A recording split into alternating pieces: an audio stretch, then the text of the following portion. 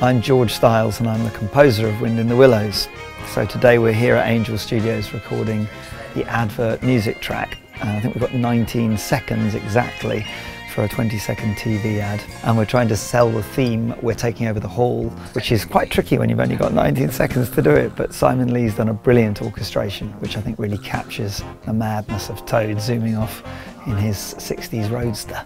These orchestrations are brand new for these ads and so we've actually recorded a 20 second, a 30 second and a 90 second version so that we've got some music in our back pockets because until now it's just been my demos with Anthony Drewe, the lyricist of the songs and now at last we're starting to hear stuff coming to life. It's hugely exciting when you hear your music realised bigger than just piano and voices. I always think that a show has to work with it just being around the piano or the guitar or whatever your chosen medium of composition is.